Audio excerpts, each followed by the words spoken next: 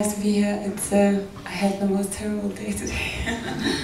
I've been flying from, oh, I don't even remember, uh, home to Berlin to make a visa for, um, for the US.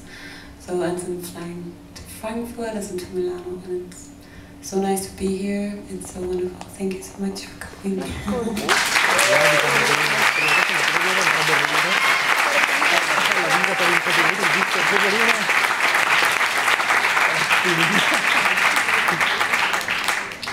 the next song is for you guys.